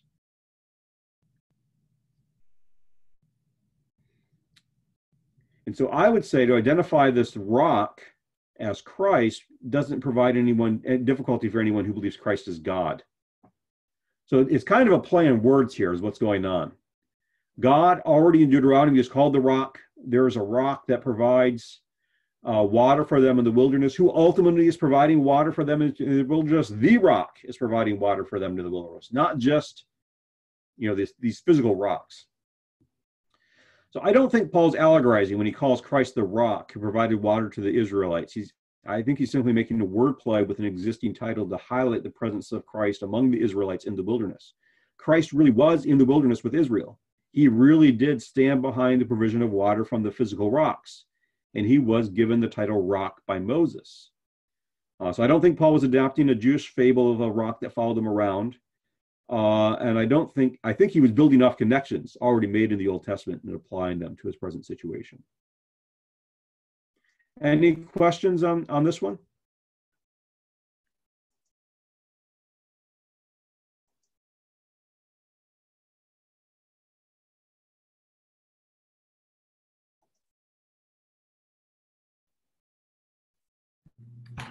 I I also find that helpful. It's good. Uh, maybe since we have time, I'll, I'll maybe try to pick up a couple more. Just turn if you're in First Corinthians 10, turn back to First Corinthians 9. Um, this is a passage that was sometimes also appealed to as being allegorical in nature. So this is First Corinthians 9, uh, 9 through 10.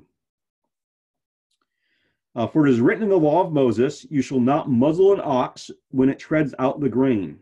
Is it for oxen that God is concerned? Does he not speak entirely for our sake? It was written for our sake because the plowman should plow in hope, and the thresher thresh in hope of the shearing of the crop. So in this passage, Paul cites Deuteronomy 25 4, uh, which dealt with the treatment of oxen, and asks, Is it for the oxen that God is concerned? And then he says, and the, here the translations uh, differ uh, a, little bit. The, the ESV here says, if I get my eyes back on it, um, does he not speak entirely for our sake? Uh, the NIV actually says this, um, surely he says this for us, doesn't he? And I actually like that translation a bit better. The ESV makes it sound as though Paul's denying the original intent of the law. Does he not speak this entirely for our sake and not for the sake of the oxen at all? Um, but the NIV translates it, uh, surely he says this for us, uh, doesn't he? Now, what that is, is that's a non exclusive translation of the word pantos. Uh, so ES, the uh, ESV translates pantos exclusively. It translates pantos as meaning entirely for us. Uh, the, the NIV translates it non-exclusively. Surely he says this for us, doesn't he? BDAG lists five senses with glosses for pantos. First, pertaining to strong assumption by all means, certainly, probably, doubtless. Second, pertaining to thoroughness and extent, totally, altogether. Uh, third, the expression of an ine inevitable conclusion in view of the data provided, of course, be their gloss. Fourth, expression of the lowest possible estimate on the scale of extent, at least. Five, with a negating marker, not at all, by no means. And BDAG lists uh, 1 Corinthians 9 9 under sense 1. Uh, by all means, certainly, probably, doubtless. Uh, and this would cohere with the translation of the NIV. Um, so I like I like that approach um, because this means that the, the first question need not be understood to absolutely exclude God's uh, concern for oxen. Um, you know, God's concerned about oxen, but he's not just concerned about oxen in this passage. Um, so Paul, what Paul is saying here is that there is an extended application that applies to humans uh, as well. Uh, now, the Old Testament context, I think, points toward this extended application. In its context, the command regarding oxen stands alone among commands to provide for the needy. I, I wonder, Joel, if you could if you could actually drop us back into uh, Deuteronomy chapter 25. Put that up on the screen. So you can see there, it's uh, Deuteronomy 25, 4 is our verse. But you can see that standing alone in commands that are not about oxen, but are commands um, that are about providing for the needy, or um, I think the needy are back up in 24, and, and this immediate context is about uh, disputes and, and so forth.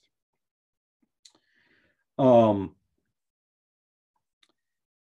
so I think in context, even it's possible that this command uh, was an illustration of the kind of care that people should have for one another.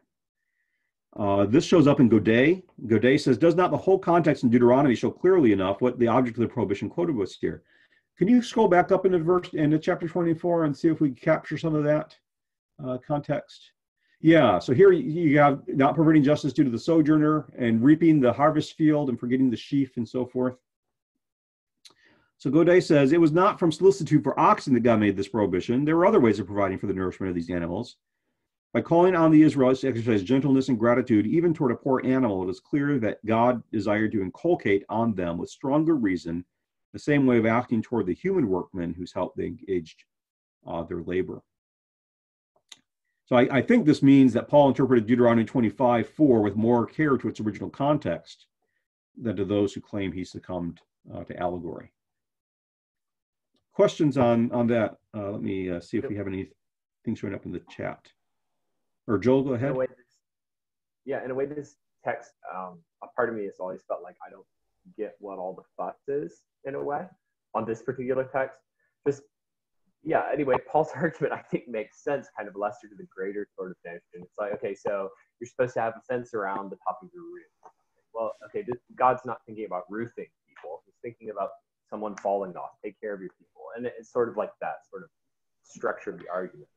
Um, in the sense where even some of the places, and I think there's this I mean, rabbinic interpretation or his uh, like Jewish historical interpretation was onto something where maybe it would give a command if a man does this to a woman, and they're like, okay, obviously, if a woman does this to a man, or a woman does this to a woman, or a man does this to a man, come on, come on, guy.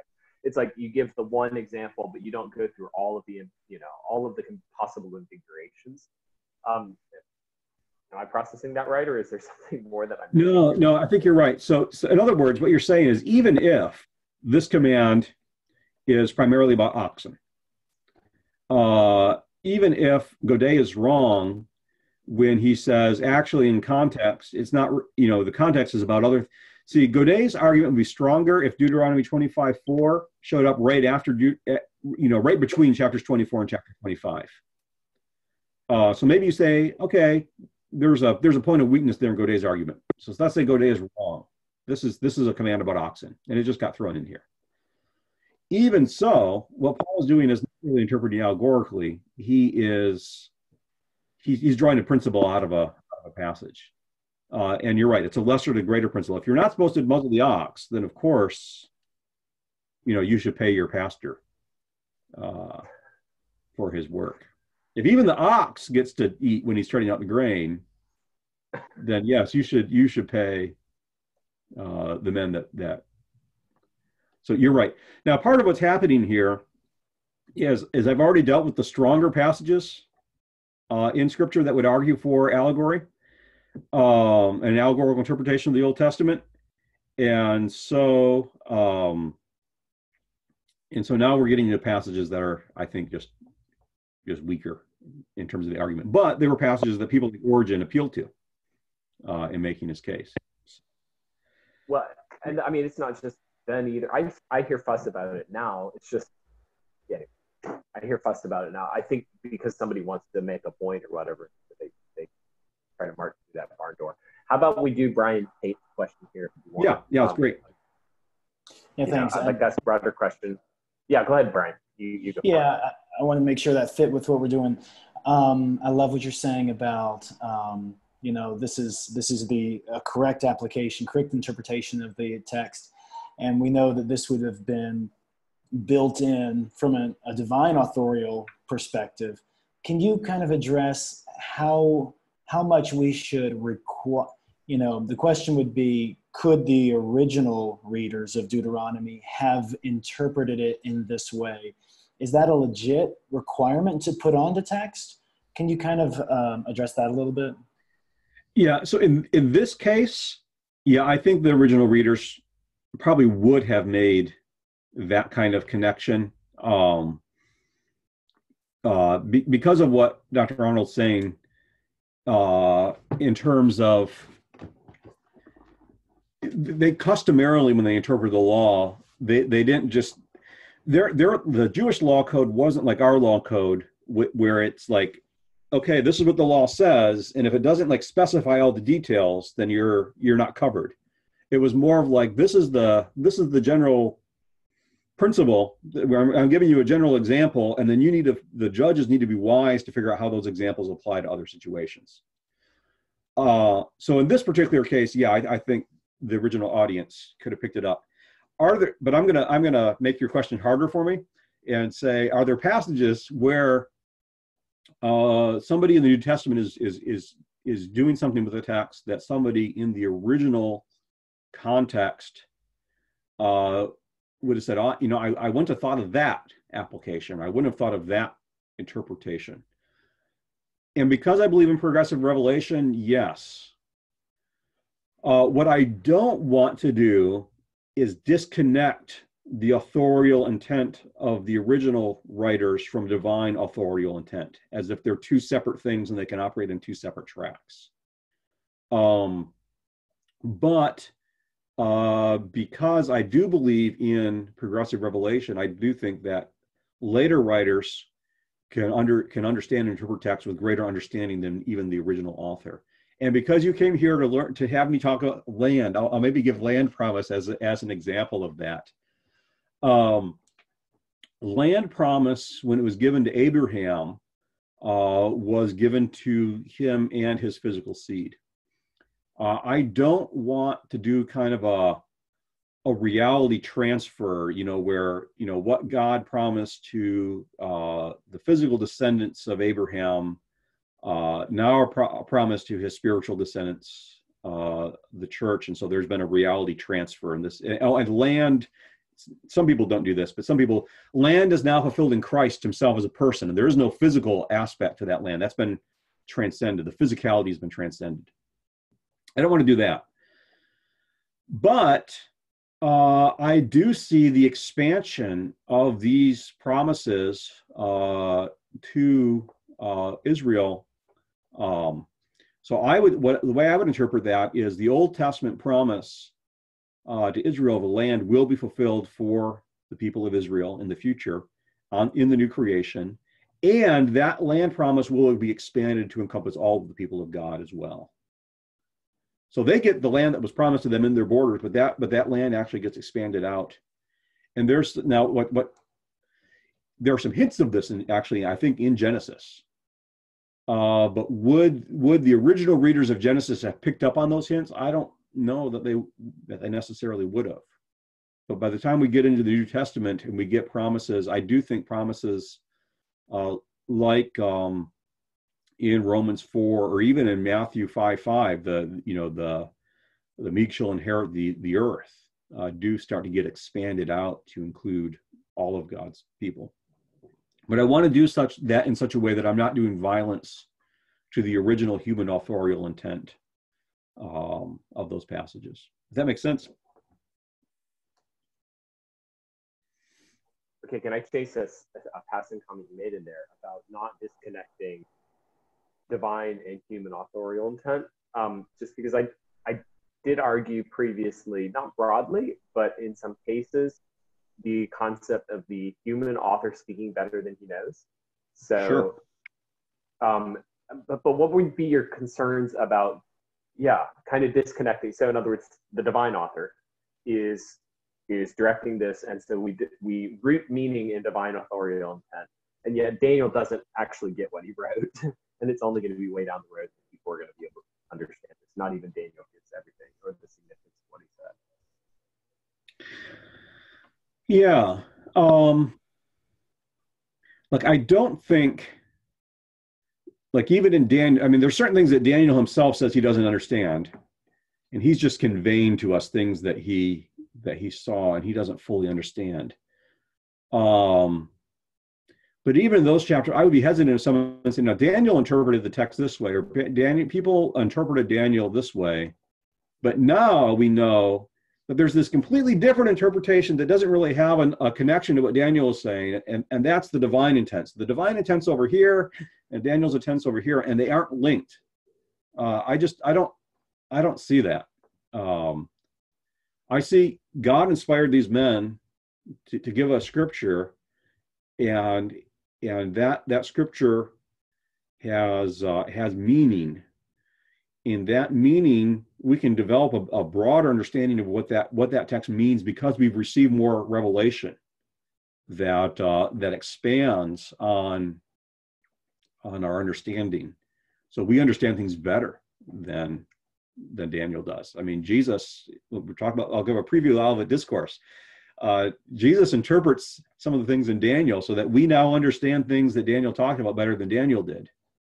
Uh, But that doesn't mean that Daniel understood this in one way and Jesus understands it in a different way. That's very helpful. So if I'm getting the concept, it's like we, we want to be very guarded about uh, the actual meaning ran against what Daniel thought. Um, it's still going to run in line. It's just Daniel's not even going to understand all the fullness of what he put down. Yeah. Okay. That's very helpful. Thank you. So, Brother Kenneth raised a question. Uh, he says, Jesus washing the feet of the disciples in John 13 is interpreting literally by the Roman Catholic Church, but I don't believe Jesus had any literal interpretation intended. I, I, I think I think we're getting caught up here on what is meant by literal. And I do confess that I do try to avoid the word literal when I'm in hermeneutical discussions unless it's unavoidable. Because people have all kinds of different meaning. What what the medievals and the patristics meant by literal in their fourfold hermeneutic uh, is different from what the reformers meant by literal, which is different from what modern people often mean by literal. Um, and there's also the difference of it is literally difficult not to say literal. I, I know uh, that was good, Duncan. Um, yeah, yes, it, so sometimes it's, it's difficult to avoid people the, even in the dictionary there's two different senses of literal. Uh, literal can mean just normal interpretation or literal can mean like that that would include a figures of speech or literal could mean interpreting like a figure of speech literally. So i'm not going to interpret it according to its figure. Uh, and so that the word ends up being really slippery in the way that that people use it. And now, I think what you're saying here is that the, the Roman Catholic Church, they look at, uh, and correct me if I'm understanding this wrong, what you're saying. I think what you're saying is that John 13, they say that Jesus is doing this and we're supposed to actually carry this practice out as well. But Jesus was doing this not for us to carry the passage out ourselves.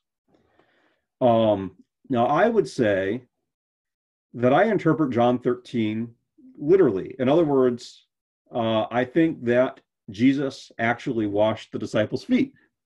Um, now, I also think that my literal interpretation of that passage means that there was some actually, a, that was a symbolic action on the part of Jesus. Uh, he was actually intending to communicate something uh, by doing that action. It just wasn't like, oh, he just was washing the feet uh, just like everybody always washed feet as people came in. it's not just an incidental detail in the narrative. Jesus is actually intending to communicate something symbolically with that. I think that's part of a literal interpretation of that passage in that sense of a normal interpretation of the passage. I don't think that Jesus is, is setting up an ordinance here that we ought uh, ought to follow. Um, oh, so I get what you're saying. This is the actual statement uh, it's the actual statement that he says, um, do likewise, right? That's what they interpret. Yeah, okay. I, I, I'm I'm more on your wavelength now. That's what they're interpreting literally. I so so I think what Jesus is saying in that statement is not go around washing people's feet, but he's telling them to pick up on the symbolism of what he's doing in that action and to live out what that action symbolizes. That's what they're supposed to do likewise they're supposed to do likewise what that action symbolized, not just repeat that action all the time. So that that is how I would interpret that passage, and I would argue that my interpretation is a literal interpretation of the passage. That's a that's a uh, um, you know I because I'm arguing that's exactly what Jesus intended. Uh, oh yeah, so the NIV. Um, but even there, someone could argue the example, you know, what is the example? The example is, uh, is the example to actually literally wash people's feet? There, I use that word again. Or is it to pick up on the symbol of, uh, of what uh, Jesus is, is, is communicating there? Another comment here.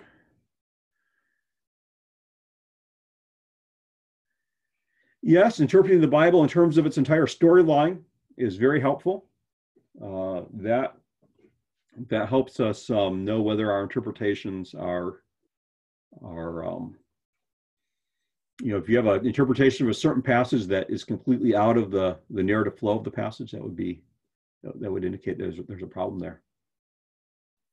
Here's a question I'll just toss at you, and then I think we'll wrap up here. Um, so, as you've used the Beale and Carson edited uh, New Testament commentary in the Old Testament, that's our textbook support, and I've benefited a lot from it.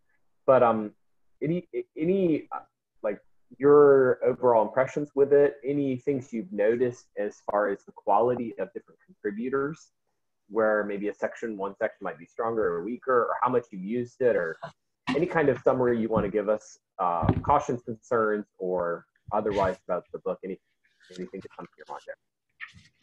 Yeah, let me, uh, does the table of contents tell me who wrote? It does. It breaks it, does. breaks it down by section. Yeah. Um,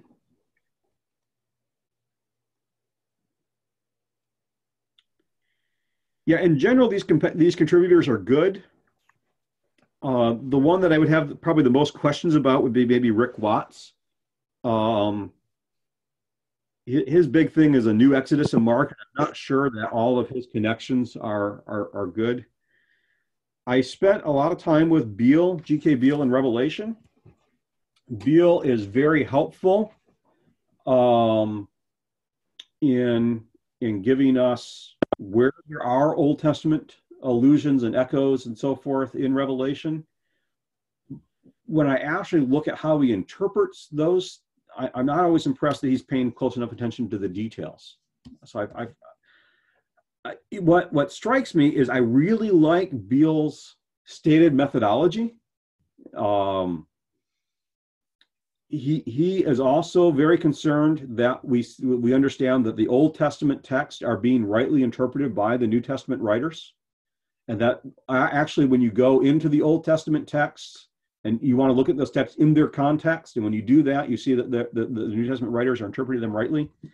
But I'm not always convinced by his exegesis if that makes if that makes sense.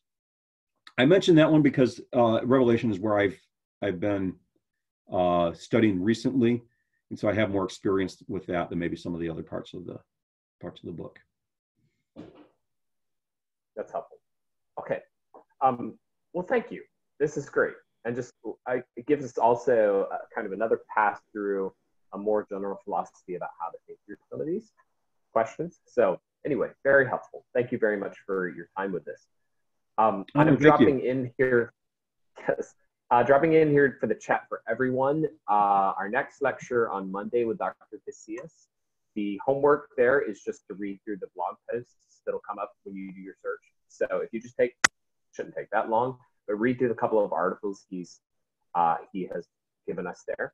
And then we will see Dr. Collins again one week from today. So uh, if you have particular questions related to the stuff that we talked about today, or you'd like some further feedback on something, just store that up, send it over to me, or something like that. You can send it directly to Dr. Collins if, you, if you're already in contact. But um, then we will come back to this next week. So, Dr. Collins, until next week, thank you very much for your time, and we'll look forward to seeing you in uh, in a week. Oh, it was great. It was great to see old friends from seminary. It was great to see newer friends from the Philippines and Singapore, and uh, really enjoyed really enjoyed this. Thanks a lot. Okay. Uh, good night. Thank you to all. Good night, all.